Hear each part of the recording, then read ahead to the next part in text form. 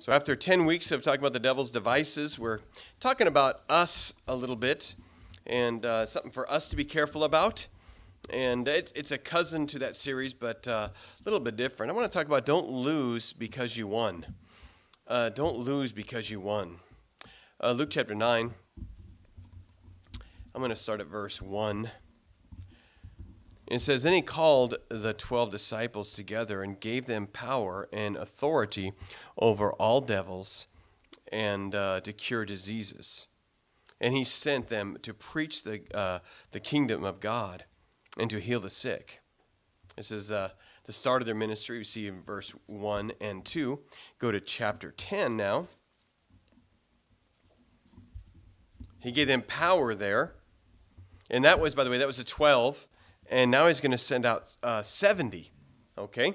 And in chapter 10 and uh, we see here in, uh, in verse uh, 1 it says after these things the lord appointed uh, other 70 also. And they went two by two before his face uh, into every city and place whither he himself would come.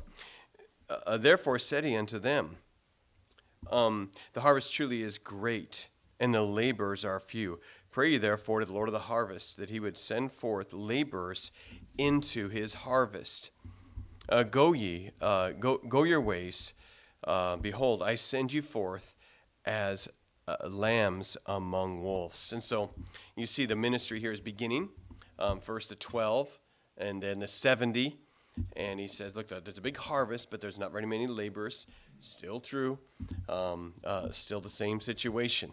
And so they go out and they do the work and they they're amazed. And because they were given authority and power over demons and power to heal the sick and they were given these things um, they went out and they did just like jesus said by faith and all the great things that god did. And whenever you live by faith you always come back excited and amazed what god does. Down to verse 17 the 70 returned again with joy saying lord even the devils are subject unto us through thy name. Notice that these devils, through Jesus' name, are under their authority. They're subject unto us through thy name. And notice the way they phrase that. Notice what it says there. And uh, he said unto them, I beheld Satan as lightning fall from heaven. Behold, I give you power to tread on serpents and scorpions and over all the power of the enemy, and nothing shall by any means hurt you. Notwithstanding, in this rejoice not that the spirits are subject unto you, but rejoice rather because your names are written in heaven. All right, let's pray. Lord, help us to uh, preach your word in truth and uh, cl- with clarity, Lord.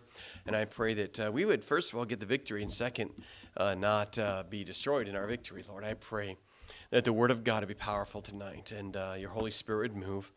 And I pray that this church, who is a special church, on the front lines as any church is, and and and in the battle, Lord, I pray that it would continue in victory and become go even more to victory, Lord. We could do so much more and be so much better and more spirit filled.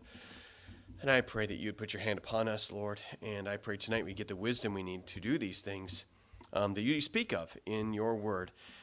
Please, Lord, help us. We, we need you, and I ask for your help personally. We ask all this in the name of Jesus. Amen. Oh, you see a lot of things here. Jesus' name gives us power over demons. And uh, we see uh, this, of course, in verse 17. And the seven returned again with joy, saying, Lord, even the devils are subject unto us through thy name.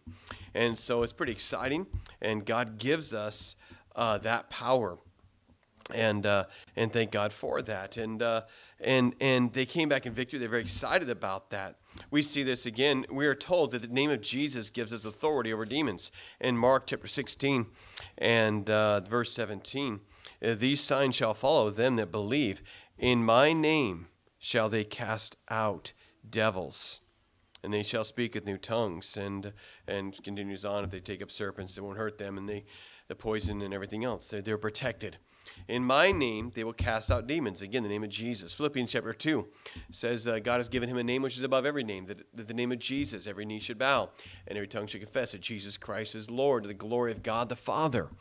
Um, and, and so through Jesus, we have power over demons, the name of Jesus. And that's a wonderful thing that we're going to need because we're facing that.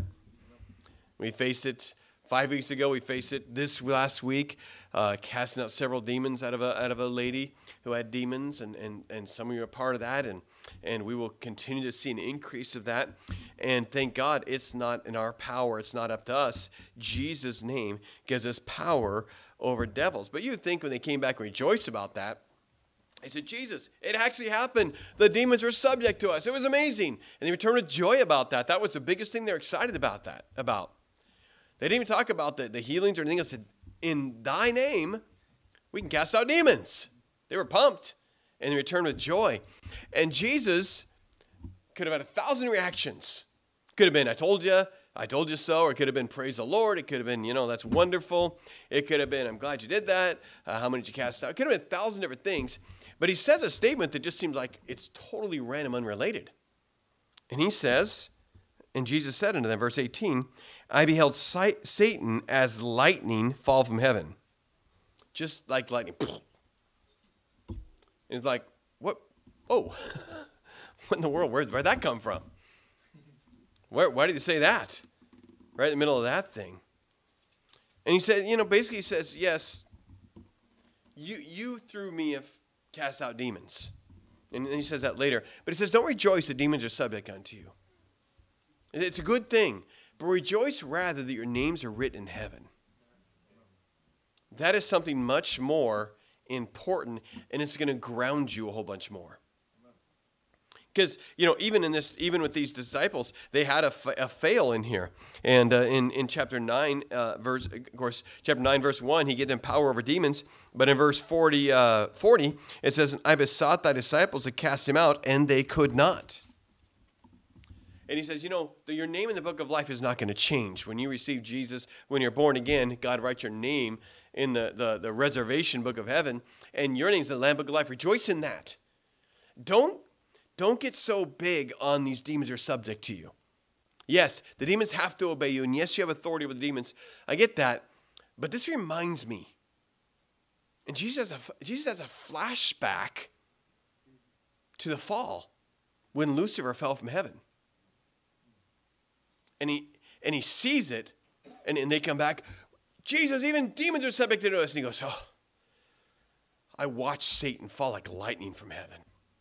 Hey, don't rejoice in the same way that these demons are subject unto you. You need to rejoice and get your joy that your name's in the book of life.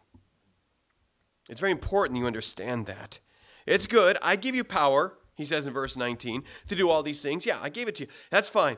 And, and, and, everything. But don't rejoice in that. Rejoice that your name's in the book of life. And always your the basis, real important, the basis of everything in the Christian life, including your first joy, the foundation of your security of who you are, everything around your spiritual life revolves around a secure salvation.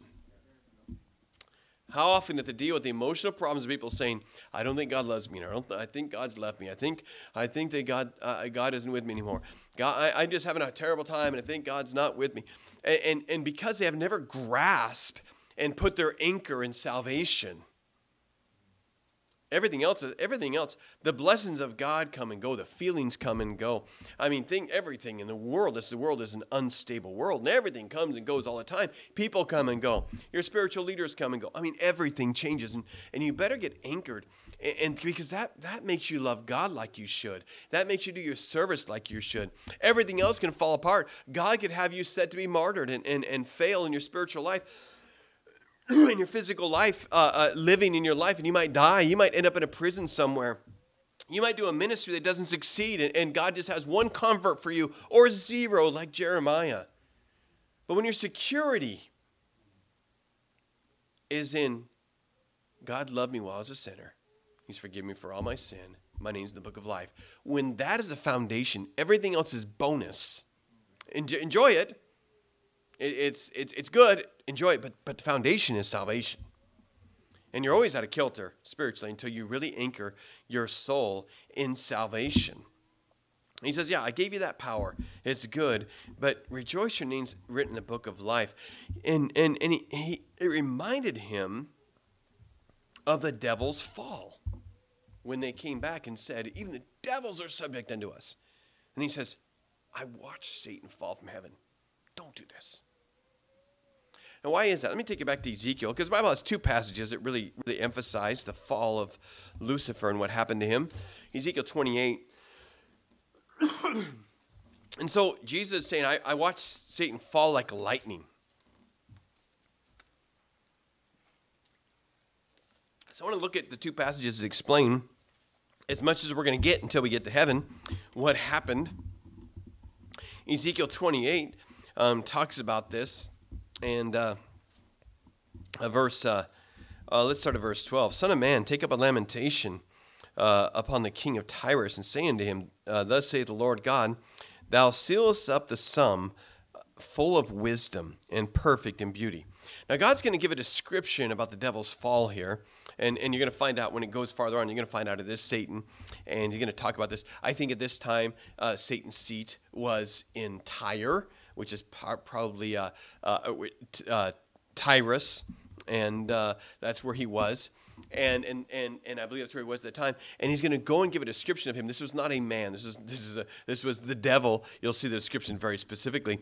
But he's described before he fell okay and and that was part of how he fell and, and i'll show this to you number one it says he's full of wisdom it says in verse 12 it says i say in the middle of verse thus saith the lord god thou sealest up the sum full of wisdom. Sealest up the sum means you're complete full of wisdom. Okay this lucifer was full of wisdom. Of course he's more subtle. He's every the first thing said about him is how clever he was. He, he was a, a special archangel. Number two, he's perfect in beauty, verse 12. It says, Thou sealest up the sum, full of wisdom and perfect in beauty. When you looked at the devil, when you looked at Satan, Lucifer he's called, you would look at him and you, you would just be stunned because he was the most beautiful creature ever created. He was perfect in beauty. Okay? Um, he was, and it, it, it, it, describes that a little bit. He was in the Garden of Eden, it says in verse 13. Uh, Thou hast been in Eden, in the garden of God. Of course, there was only Adam, Eve, God, and Satan. There's no nobody else there. It's one of the reasons we know who he's talking about here. Uh, thou hast been in, the, in Eden, the garden of God. Every precious stone was thy covering. Next, his body was covered with jewels and gems. It names them all these different the diamond, the beryl, and the onyx, and the jasper, and the sapphire, and the emerald, and all these different things. His body was just covered. He's perfect in beauty, and his entire body was covered with beautiful jewels. He was so beautiful um, because he was he was covered with all kinds of gems and jewels and so forth. Um, he was musical inside and out. He uh, specialized in music. Um, uh, in the middle of the verse, and the sapphire and the emerald, and the carbuncle and gold and and the workmanship of thy uh, workmanship of thy tabret and of thy pipes was prepared in thee in the day thou was created. He was created with musical instruments in him. Okay? And and and the devil is incredibly talented musically. And if you let him, he will give you music that will move your soul and you will love. Because he's very musical okay? And and and they're they're i believe in a i'm i can't prove this biblically just clues like this okay? Um, we, we really see three archangels mentioned. Gabriel gabriel's always bringing a message. Michael michael is always fighting. And we see lucifer. And and in lucifer we know he's beautiful we know he worship we know he has music okay and and uh, and we know that he's going to have a special spot in the Garden of Eden with God. I think the archangels, one third of the archangels fell. I think that Michael was over the warrior angels. I think that um, that uh, Gabriel was over the messenger angels. I think that Lucifer was over the worshiping angels. And the worshiping angels fo- followed him and came and fell, and God made humans to be the worshipers now. Okay, that's my guess. Okay, um, I can't absolutely prove that, but that's just there's a lot of things that, that make me think that, and uh, and and we see that he was a certain kind of angel, and uh, and it goes into that. But he had the music, and uh, he he did those things. Inside. By way, when in heaven you find is the beasts, which you find out the beasts in heaven uh, that are around the throne, uh, they wear crowns and they're redeemed from every nation, king, and tongue. The, the people singing in heaven are usually the people who were from earth, who were the humans before, and, and so forth. Just some just some clues, but I can't prove it with the Bible. Um, but uh, it's a pretty pretty solid guess about that. Um, he was musical inside and out. Um, he was a covering cherubim. Okay and uh, verse 14 Thou was the anointed, notice singularly, thou was the anointed cherub that covereth. You ever notice yeah, the cherubims over the Ark of the Covenant and their wings cover? Okay? Uh, Satan probably was a winged cherubim, and he had wings, and he was covering something uh, there in heaven or on earth. And, uh, and I'll give you what I think he, he was doing there. Um, but uh, he, he had uh, wings. Thou anointed cherub that covereth. I have set thee so. Thou wast upon the holy mountain of God. Thou wast walked up and down in the midst of the stones of fire. Thou wast perfect in thy ways from the day that thou wast created till iniquity was found in thee. He says, You were perfect. I mean, you were just the most amazing thing ever created until sin came, and then you're corrupted. Then he became the serpent. And sin always destroys. And we see that.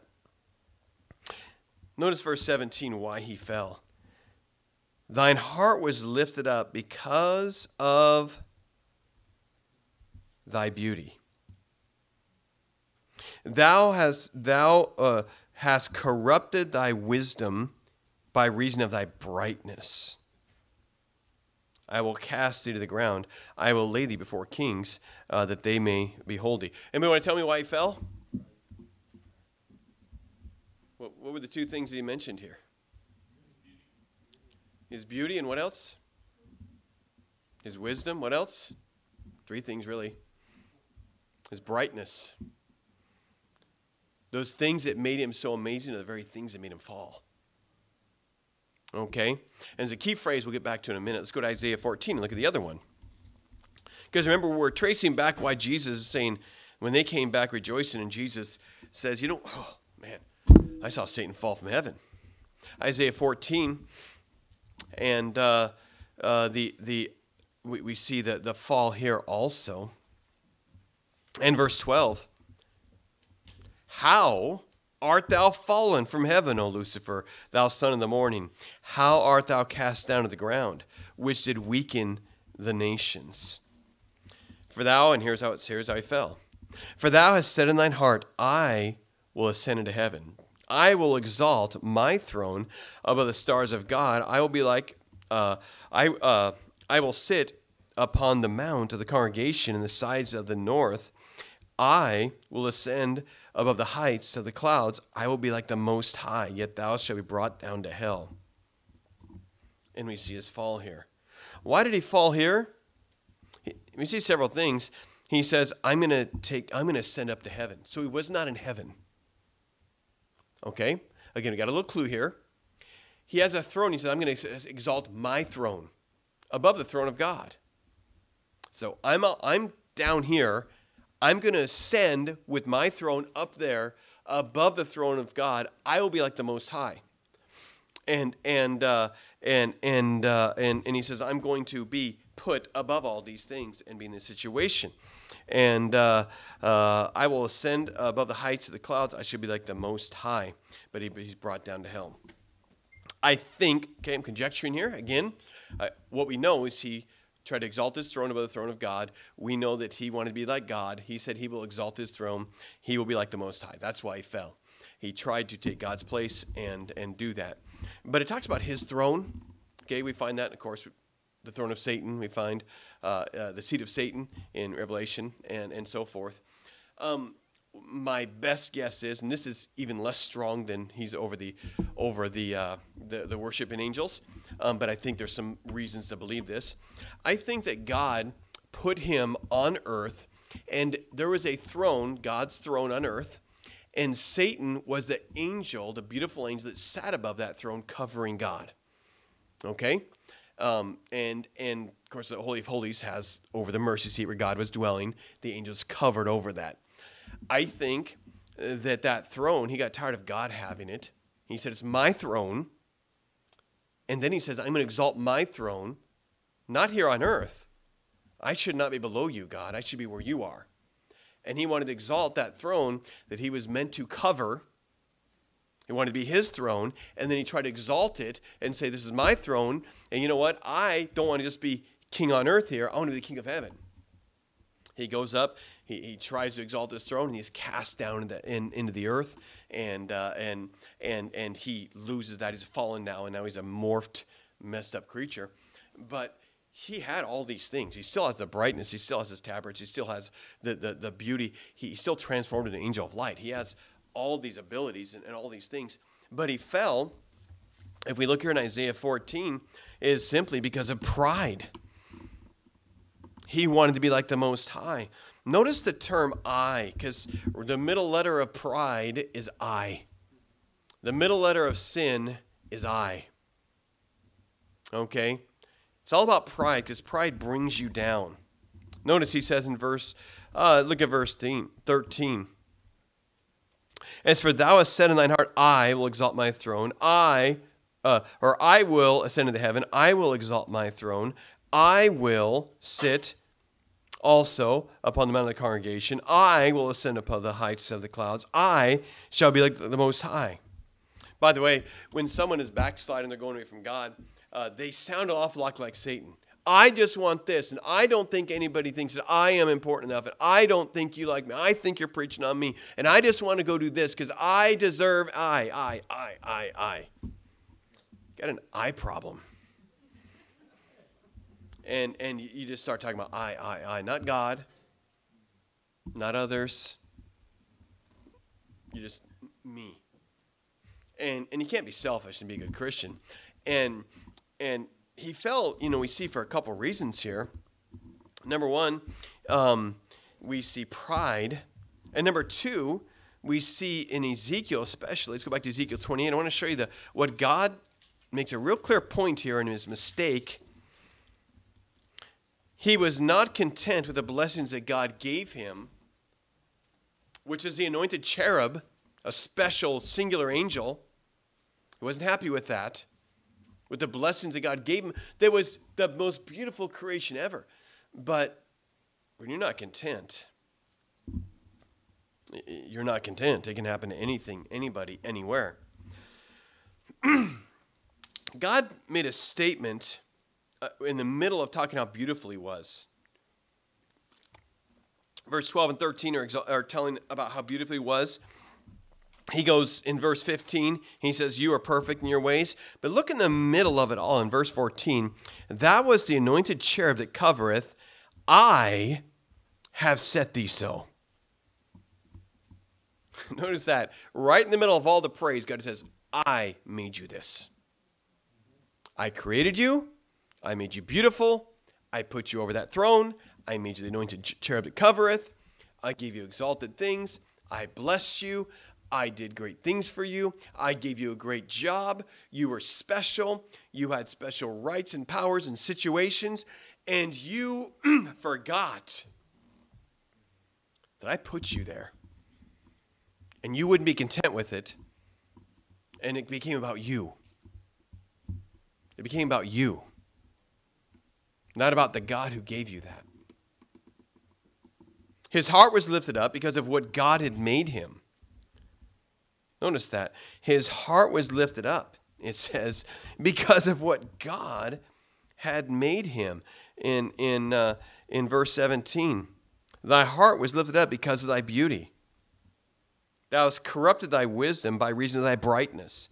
The very thing that God did for you Instead of thanking God and being humbled by it, you, you use it to ruin your life and became proud in what God had given to you and the blessings of God. Remember in verse 14, in our situation, it says, I have set thee so. Let's go back to our, our, our text here in Luke chapter uh, 10 Because what the disciples just did gave Jesus a flashback to Lucifer falling. And in verse 17, it says the, the, the, the, the 70 return uh, again with joy, saying, Lord, even the demons are subject unto us through thy name. And he said unto them, I beheld Satan as lightning falling from heaven. Behold, I give you power. Do you see anything familiar here? Notice, I set you so, Lucifer. He says, Disciples, I've given you that power. And he said, Even the demons are subject unto us. And he says, oh. He says, You know what? Let's remember salvation because salvation is a little different. Salvation has nothing to do with you. And it'll keep you very humble if you remember you deserve hell. It keeps you very grounded. Let's go back to your salvation because when I use you and I give you power over demons, and all of a sudden here's this powerful demon, you have authority, and it has to obey you, say, I'm pretty powerful. God says, Ooh. Humans and other creatures like angels, when I bless them and give them good things, they have the ability to go and say, Goodness, I'm amazing. And forget who gave them that. And that makes you fall. And that makes you fall. I have set thee so. Behold, I give unto you power to tread on serpents and scorpions, and over all the power over all the enemy. Uh, and, and, and, praise God for that. And nothing uh, shall by any means hurt you, notwithstanding. In this rejoice not that the Spirit is subject to you. Think about the thing that you didn't deserve anything. Think about your salvation. These blessings are awesome and they might make you proud because I am using you. And I don't want that to happen. 1 Corinthians 4 7 is a good verse that might be get in your mind if you struggle with pride. 1 Corinthians chapter 4 and verse 7. Who doesn't struggle with pride here? Am I trying to trick you? What do you think? Are you afraid to raise your hand? 1 Corinthians chapter 4 and verse 7. And who maketh thee to differ from another? That's an interesting question. If you're smarter, if you're taller, if you're stronger, if you're more beautiful, who made that happen? You didn't sit there in a womb and say, I'm taking this DNA and I'm taking this DNA. You didn't do that. You didn't choose anything. If you're brilliant, understand it was a gift from God. If you have a great talent, a great gift, if you're super musical, and you say, man, these people who can't sing, I can't believe them. No, God gave me a gift. Thank you, Lord, it's for you. For who maketh thee to differ from another? And what hast thou that thou didst not receive? Wow, that's a pretty strong statement. What hast thou that thou didst not receive? Now, if you receive this thing, hey, you shouldn't boast in it, is basically the rest of the verse. And you see that um, you understand, keep in mind that I have given you this, Satan. I have given you this, disciples. But they, even the demons are subject unto us. Man. He says, Whoa, no, no, no, no, no, let's not do this again. No, no, no, no. You know, don't rejoice about that demon thing. I gave you power, and yeah, I gave you power to, uh, and you, when you're doing the Great Commission, you have power and protection. You have all those things, but I gave you that. You know what? Just get yourself grounded in your salvation. Those blessings are bonuses, and thank God for them. But don't start talking about I and we have this power. You, you were given something, and I can take it right back and you could lose it very quickly. The disciples were in danger because they forgot who gave it to them. They were in danger of being proud of the blessings, the very blessings that God gave them. And we have to be careful of this.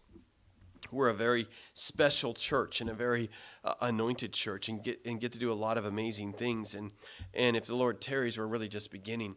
And, and we're, we're seeing some victories and, and, and we get special truth and a lot of a lot of amazing things at Open Door, and and we're the the, the spiritual level is is increasing, and we have to keep ourselves grounded as God gives us victory.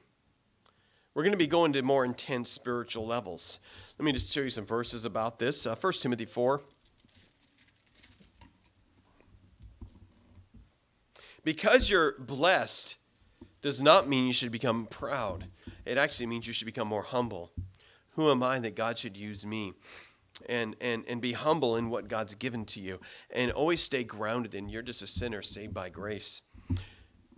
1 Timothy chapter 4 Now the Spirit speaks expressly that in the latter times some shall depart from the faith, giving heed to seducing spirits and doctrines of devils.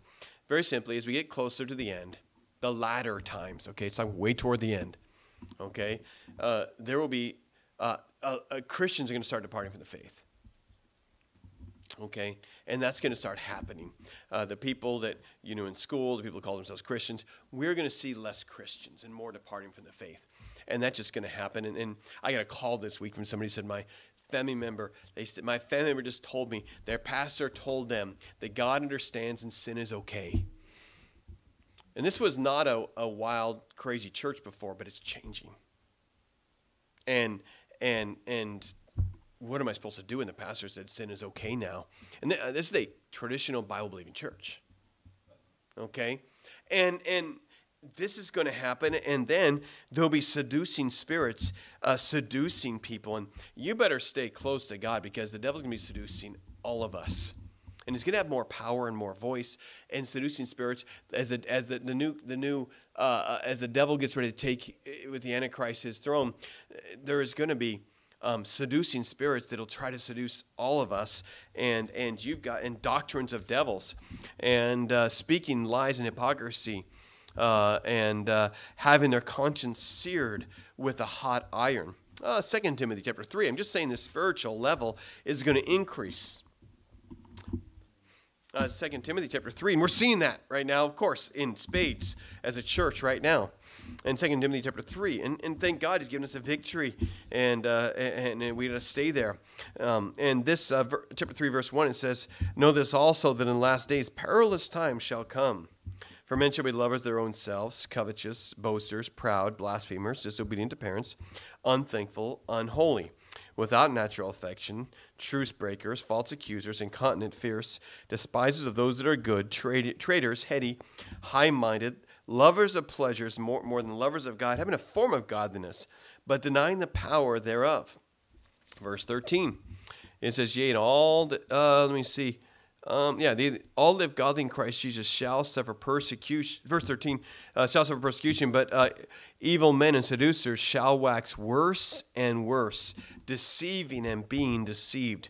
We've got to get established in doctrine and prepare spiritually for the war to be intensified. But we know we have the power through God. So you're going to face some bigger things. But the cool thing is, is God has given us that authority. Okay, we read these verses. God has not given us a spirit of fear, but of power and of love and of a sound mind. Just a few verses read earlier. I give you power to cast out demons. In my name you have authority to do these things, he says. He says in Romans 8:31, what shall we say then to these things? If God be for us, who can be against us? Verse 37, nay, in all these things we are more than conquerors through him that loved us. Who is 1 John 5? Who is he that overcometh the world? But he that believeth that Jesus is the Son of God. And this is the victory that overcometh the world, even our faith. 1 John 4 4, ye are of God, little children, and have overcome them, because greater is he that is in you than he that is in the world. Okay? Uh, Mark 16, in this verse, uh, you ought to get down and, and, know this verse because you're going to need it. Um, because I'm telling you, you're going to run across these things. And, and, and we need that authority that God gives us. Mark 16, verse 17. And these signs shall follow them that believe. In my name shall they cast out devils. So they cast out devils. And that's an authority we have. In the name of Jesus. We have this name of Jesus that is above all names, that's powerful and can make it so we can cast out the demons. And God's given us that authority. And remember that. And, and we're going to be able to do that. So the bigger devils God also gives us more power and God helps us overcome them, and you'll have some great victories. But the devil's going to come and say, Wow, you are amazing. And he's going to try to get you to lose because you won and make you get proud. We have the victory. 1 Corinthians uh, chapter 15. God's already overcome Satan.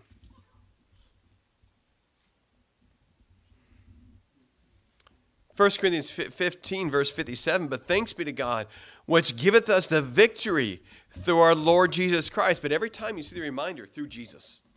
Because it's not going to be your wit, your power, your strength your, your ability to yell or scream or anything else is going to be the name of Jesus and the power of God and God anointing you to do his work and God giving you a gift and God working through you. All these things are going to be from God.